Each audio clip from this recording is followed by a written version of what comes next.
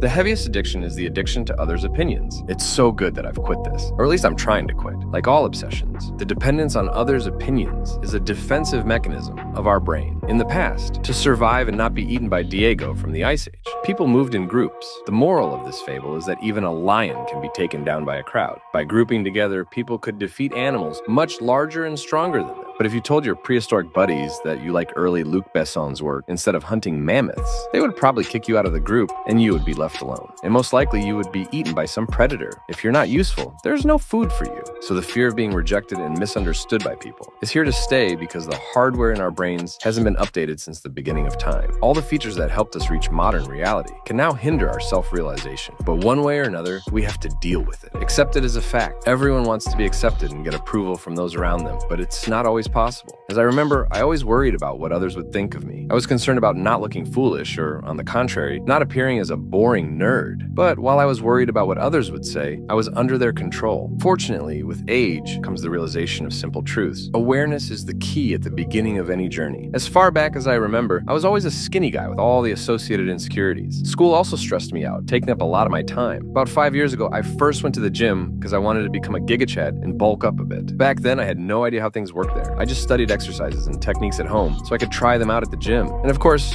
I was afraid that everyone would mock me and look at a skinny guy who can't even carry a cup of water from the boiler to the bench press and laugh at the small weights and poor technique. But no one ever said anything bad to me. No one laughed. Instead, everyone gave me tips and helped me with technique, offered advice on nutrition, and even spotted me. Although it was strange since I wasn't even doing an exercise at that moment. But that's beside the point. The main thing I've learned is that real jerks exist, but there are very few of them, and they're also very cowardly. All their efforts amount to nothing more than words. Although I've met quite a few of these people, I don't recall anyone ever supporting them in real life. Remember, no healthy, sane person feels the need to humiliate, belittle, or devalue someone's achievements, or laugh at their failures. This is the weakest position in our world. If you see this, it's either kids who, due to their age, don't understand some things and might laugh at insults or bullying, or just weak people. So always, if you have the chance, try to help. Who knows, maybe the person can't lift to the bar because he got injured as a child, and now has a fear of elongated objects. Of course, it's fun to troll, joke, and so on, but in real life, if you see someone trying, it's better to help or at least not discourage him. Maybe for him, it's a huge fear he's trying to overcome. Moreover, everyone already has a thousand reasons to feel down without the help of others. Anyone who tries is already a step above those who don't try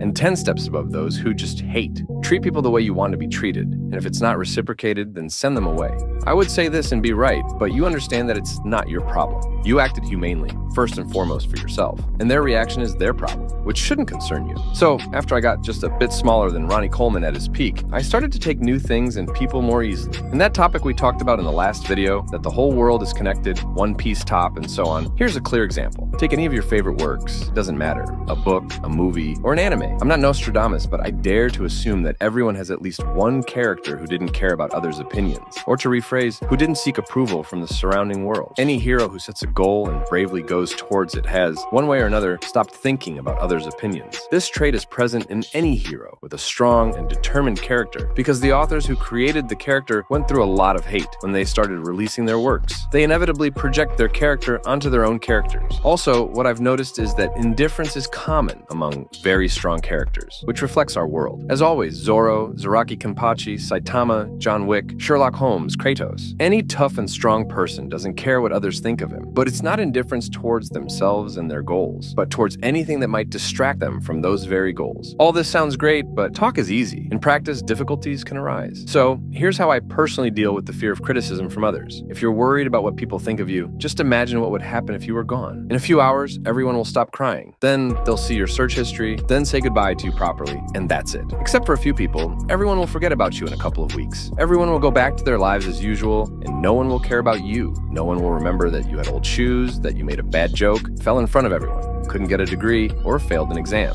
At work, they'll find a replacement for you. Your friends will move on, and the world will lose nothing. What will happen if you walk naked through a crowded place? That's right, the cops will take you away, and people will move on and forget about you in a few minutes without even remembering. Everyone has their own life, and once you realize this, it will be much easier to do what you like. Watch what you like, start a business, begin studying something, start working out, or open your own channel. Who knows? Maybe you'll bring something new to the world. Maybe you'll help people in one way or another. If all that's stopping you is the fear of judgment, then just forget forget it. Who could be more important than yourself? All my subsequent endeavors follow the same plot as the gym, just in a different form. Try and don't listen to those who tell you it's impossible. Who are they to use such a strong word, impossible, in relation to your ideas? Others' opinions don't matter at all. No one knows what happens behind closed doors. No one but you knows what you've been through, your experience, the extent of your mind, and the strength of your will to so easily judge your prospects. Maybe before this you went through tougher trials, beaten illness, or managed to come back after losing loved ones, and then some random person tells you that you can't achieve some trivial thing. How could they know that you have a wealth of experience that will help you succeed? To them, you seem weak because they are weak themselves and are projecting their own experience onto you. But that's not the truth. You know very well that Saitama is far from weak. People's opinions change every day. Today they curse you, tomorrow they show interest, in a year they love you, in five years they adore you, or vice versa. So, as the classic said,